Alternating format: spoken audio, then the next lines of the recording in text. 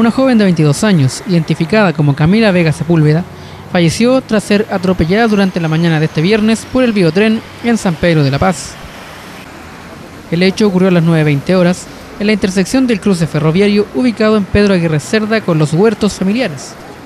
De forma inexplicable, la mujer atravesó la vía férrea cuando el convoy estaba muy cerca, ocasionando este fatal accidente. Al lugar llegó personal del SAMU, quienes atendieron a la muchacha y la trasladaron hasta el Hospital Regional Penquista, lugar donde finalmente falleció.